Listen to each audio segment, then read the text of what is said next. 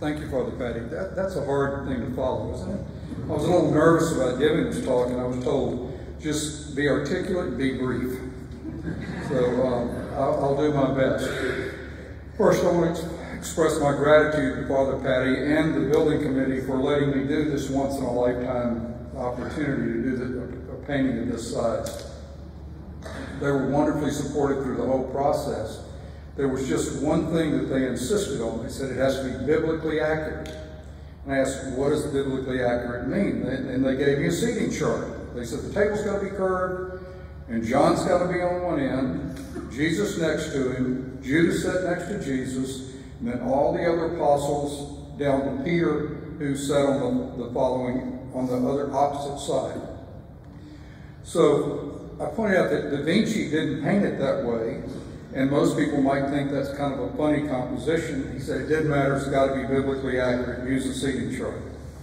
So that meant we had to do a whole new composition. And I, uh, I, but before, so I had a lot of time to do research. This all happened like in 2018. And I had a trip planned to Italy with my family, and we, we went and we had these wonderful guides, and I found out that there are 33 Last Supper paintings in Rome.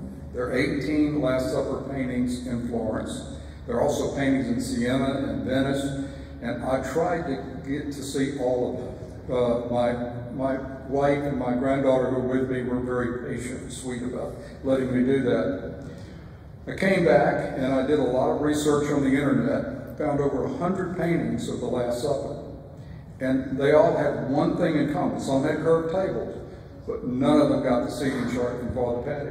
So, so that meant we were going to have to do a totally new composition, and we wanted our painting to be like it was actually the night of the Last Supper in the upper room, where Jesus said this is at the moment that Jesus said, This is my body.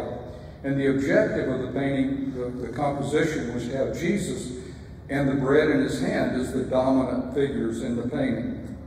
So I decided, even though Judas was sitting next to Jesus during the meal, I decided he wasn't going to partake in the First Communion, so I got him leaving through the back door.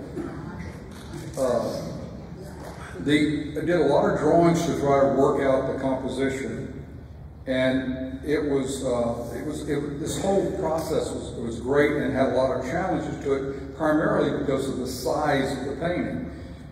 It, it was going to have to be painted somewhere else and brought here and put up on the wall and to keep it where it would stay on the wall and stay flat on the wall and it would be archival so that it would last for a long time. So we, the painting was done on three five foot by 10 foot aluminum panels that were primed and they were attached to plywood and finding five by 10 plywood was very difficult. We had had it shipped down from Maine. the, uh, then that, all that, when it was put together, was then painted with gesso, and then I put the painting on the wall in my studio at my farm, which is a couple miles from here.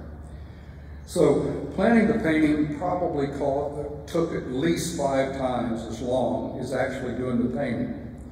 Uh, doing the composition drawings, preparing the panels, and then the fun part, we, hit, we did a photo shoot where we got a number of people to come and and we had, we had to do it in my barn so we could control the light. And we built I built curved tables and benches and bought all the accessories to sit on top of the table. And we had uh, we had the costumes made for all the apostles.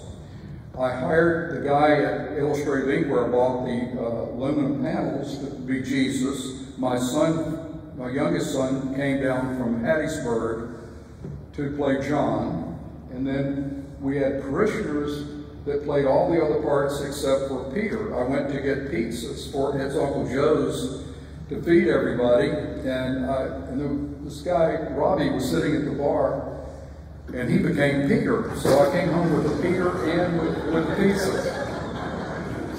And I do appreciate a lot Joey playing Judas, that wasn't you know necessarily a role that everybody wanted to take, but it's an important role in the in the painting.